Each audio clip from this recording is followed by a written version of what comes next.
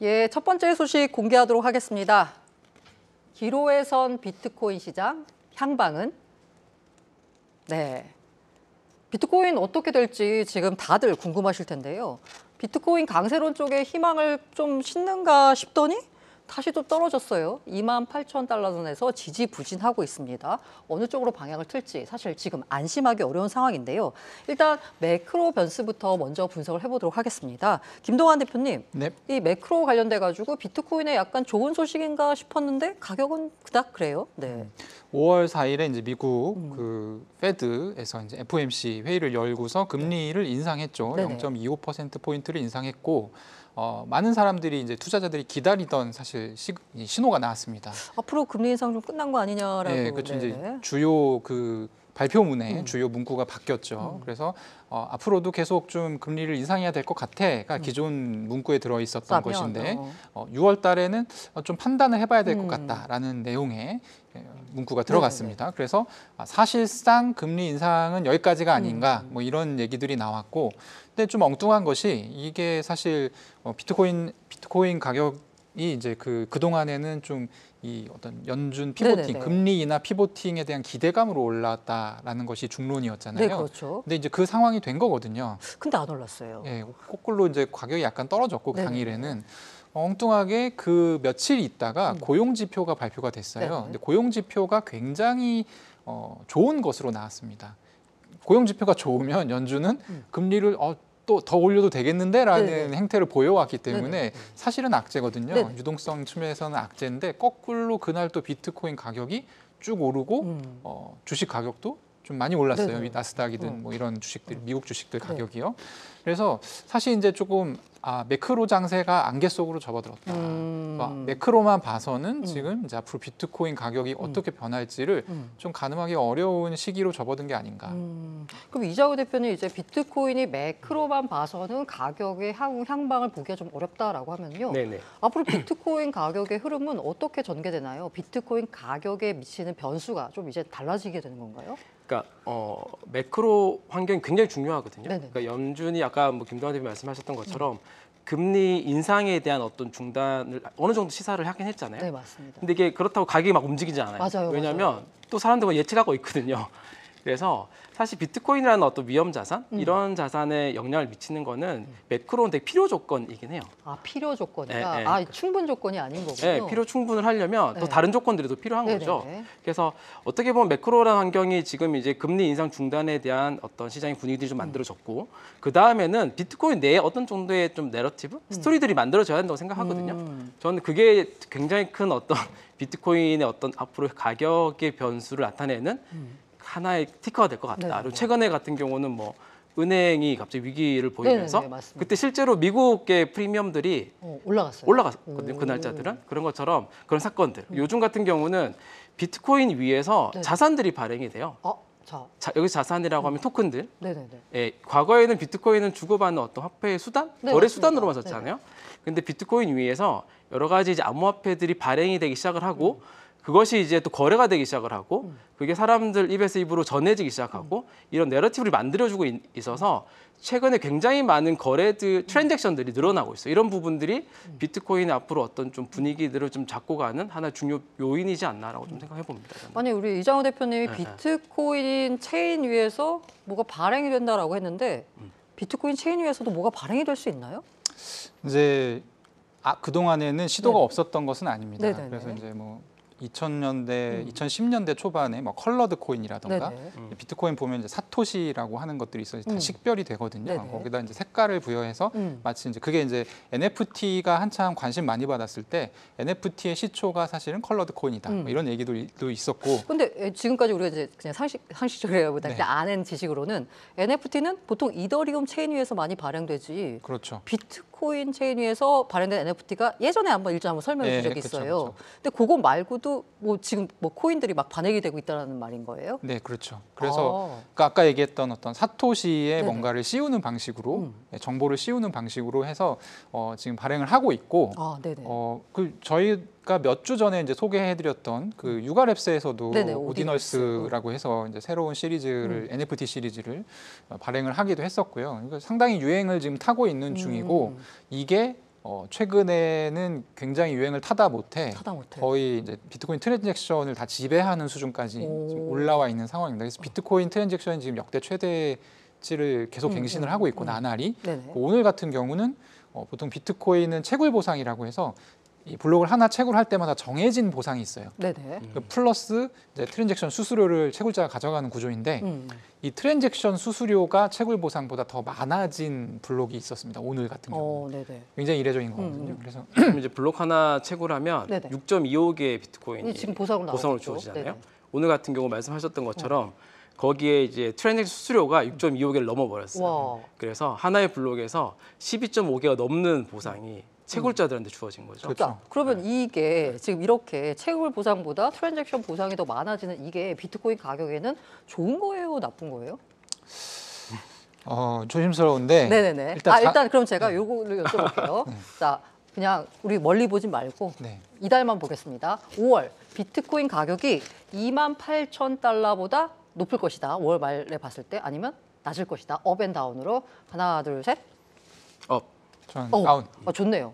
서로 의견이 달라서 네. 일단 down부터 볼까요? 그러면. 어. 이게 말씀하셨던 걸 그대로 이어서 가보면 네네. transaction이 너무 많아서 지금 트랜잭션이 다 소화가 되지 못하고 비트코인 음. 네네. 거래가 뭐 트- 이 채굴 이 블록 체결이 이제 지연되고 네네. 이런 상황들이 지금 있거든요. 그게 가격엔 안 좋은 건가요? 왜냐하면. 지금 6.25개의 네, 보상이, 보상이. 있고 네, 여기에 보상. 채굴 보상 플러스 네트워크 수수료가 6.25개보다 더 많이 된다고. 하는 건 네네. 무슨 의미냐면 채굴자들 채굴자들이. 어. 채굴자들 입장에서는 지금 팔아야 좋죠. 아. 보상이 지금 두 배인 거예요. 말하자면. 아, 그러면 나 채굴 원가보다 훨씬 더 지금 많이 나오고 있는 상황이기 그렇죠. 때문에 그래서 채굴자들은 팔 수 있는 요인이 커지는 것이고 아. 그러니까 최근에 뭐 한 이틀 전부터 비트코인 가격이 지금 계속 내려가고 맞아요. 있거든요. 2만 네네, 9,500 500 달러 선에서 쭉 지금 이제 내려와서 지금 2만 8천 8천 달러 밑으로 예. 밑으로 내려간 건데 이 영향이 저는 크다고 봅니다. 아 이게 비트코인 네트워크가 너무 붐비다 보니까 채굴 보상이 늘어 아니 저기 네트워크 보상이 늘어났고 이에 따라서 채굴자들이 물량을 내놓기 시작했다. 쉽게 말해서 매도 압력이 커졌다. 그렇죠. 그래서 가격은 앞으로도 약간 다운 쪽으로 보시는 거고. 근데 제가 보기에는 BRC 스웨인이라고 부르는데요. 네네네. 이 어. 위에 올라가는 아 것. ERC가 이더리움이니까 그렇죠, 비트코인 BRC 아 네네. 그 네이밍도 상당히 이제 의미 심장하죠. 네네. 왜냐면 사람들이 다 아는 게 ERC2N이니까 음. BRC2N이라고 하면 아 그런 거 같은 건가 보다는 어, 인상을 네네네 주지 맞아요. 않습니까? 어. 그래서 그렇게 되면 제가 보기에 이게 초입이거든요. 네네. 그러니까 앞으로도 이런 현상이 계속될 거예요. 음. 그럼 이제 채굴자들은 계속 팔겠죠. 네. 비트코인 가격. 아니 근데 만약에 김동완 대표님의 논리대로라면 가격에 그닥 좋을 건 없는데 일단 이장우 대표님은 업을 선택하셨어요. 이유가 뭔지.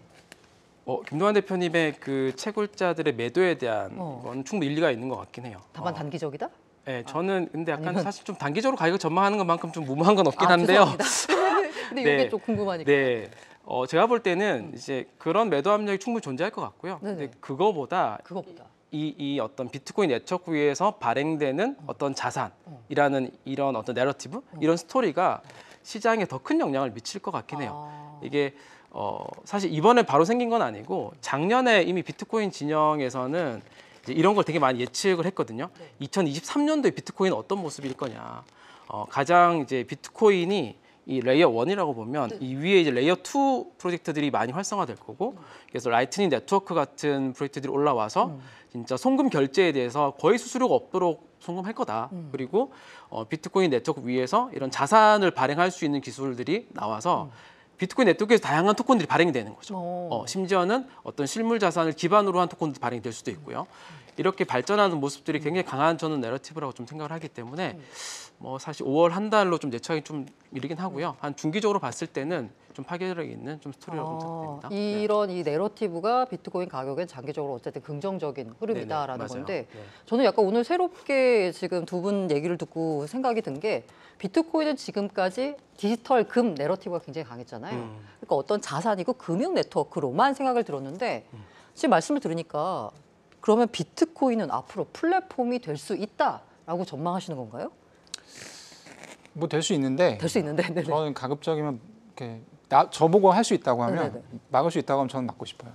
되면 안 되는 이유가 아까 그 가격 때문인가요? 아 왜냐하면 비트코인에 어. 있어서 좋지 않을 것 같아요. 왜냐하면 어. 이더리움 같은 경우는 그 그러니까 취지나 음. 팔자 자체가 네, world 플랫폼이죠, 컴퓨터잖아요. 플랫폼이죠. 그러니까 네네네. 완전 플랫폼으로 만든 네네네. 거니까 더 확장시키고 음, 음. 더 그걸 고민해야 되는 거지만 비트코인은 원래 고안된 것 자체가 금융 네트워크. 금융 네트워크이고 P2P 금융 네트워크란 말이에요. 근데 여기에 이상한 그러니까 원래 취지와 다른 용도로 사용되는 걸 막을 수는 없습니다. 탈중앙화 네트워크이기 맞아요, 때문에 맞아요. 내가 하면 되는 거죠. 네, 뭐. 하면 되는 거죠. 어. 근데 이게 이제 들어오게 되면 음.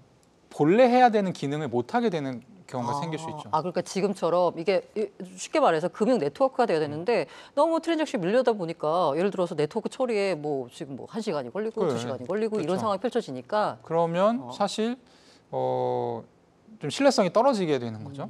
이게 신뢰성이라는 것이 해킹의 위험이 있다 이런 게 아니라 음. 아, 어. 내가 돈을 보냈을 때 그 돈을 상대방이 언제쯤 받을 수 있다라는 게 원래 비트코인은 이제 채굴이 10분 단위로 10분 단위, 길어야 15분 네네네. 뭐 이렇게 되니까 거의 뭐 20분 안에는 받는 음. 거였는데 갑자기 1시간 지연, 2시간 지연 이렇게 아. 돼 버리면 사실 이제 금융적인 어. 쓸모로 사용하기에는 조금 음, 그러면 지금은 이제 여러 가지 플랫폼으로 쓰려는 시도가 일어나고 있지만 궁극적으로 봤을 때는 아마 플랫폼을 쓰는 시도가 굉장히 비효율적이 될 수 있을 거기 때문에 다시 그냥 비트코인은 금융결제 네트워크 혹은 디지털 금의 영역으로 돌아갈 것이다 라고 보는 거고요. 네. 우리 저기 이정호 대표님은 어떻게 보세요? 플랫폼이 될 수 있다고 보세요?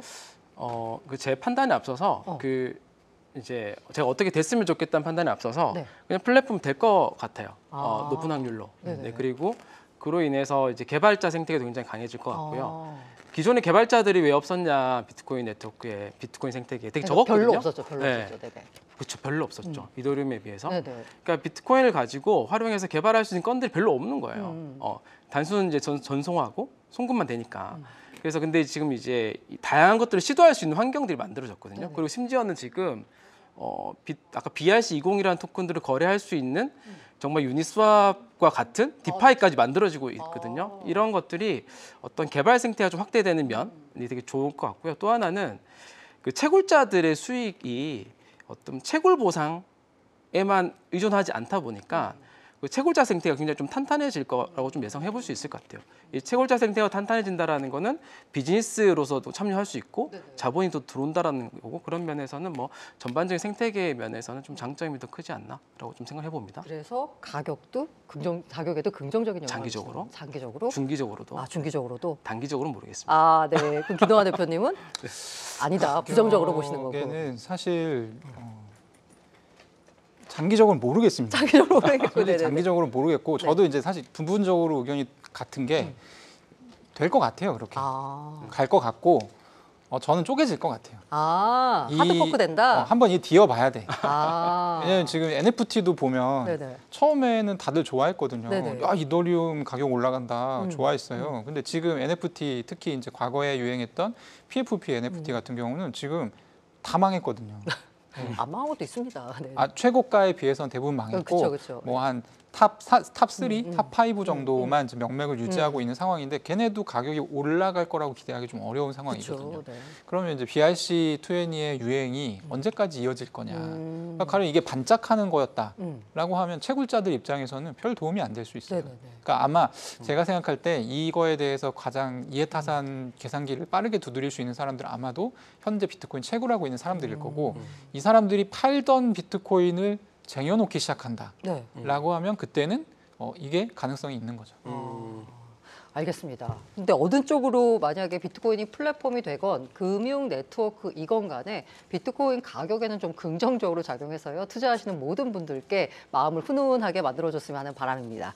이두 번째 소식으로 넘어가 보도록 하겠습니다.